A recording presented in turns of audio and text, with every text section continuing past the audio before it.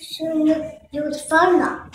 But I just want to know what your favorite things are. Okay, my favorite things are, are being with being with my friends and, and being a superhero and being uh, uh, being uh, you know being